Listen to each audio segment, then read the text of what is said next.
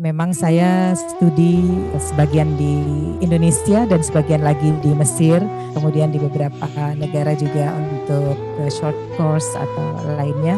Dan kajian saya itu memang lompat-lompat, itu yang membuat saya bisa berbicara di banyak bidang. Saya SMA-nya dulu biologi, jadi IPA biologi.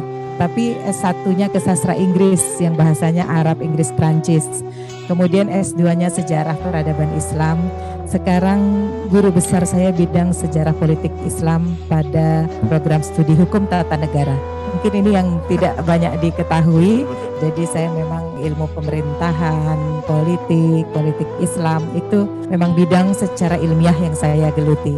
Tetapi di masyarakat tentu kaitannya dengan uh, membangun masyarakat berkiprah secara positif dalam pembangunan nasional, maka kita harus peduli lingkungan hidup, peduli masyarakat, kehidupan sosial, kehidupan uh, budaya, itu semua saya geluti, saya nikmati sehingga karya-karya saya juga beragam di bidang-bidang ini.